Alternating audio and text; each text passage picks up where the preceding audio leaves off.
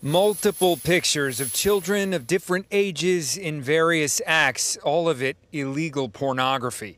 That's what Sanford police officers say they found on Colin Pittner's cell phone.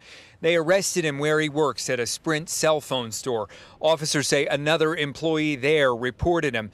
He'd given her his cell phone to play some music while the two were working, but in doing so, she says she saw some of the photos showing what looked to her to be child porn.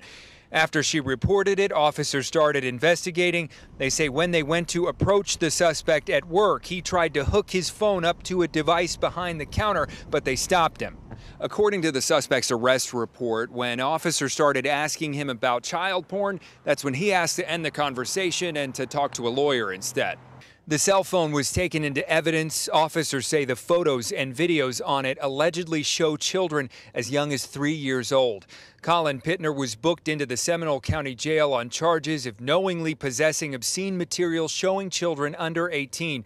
Investigators have not said where they believe the material came from. In Sanford, Matt Lupoli reporting, WESH 2 News.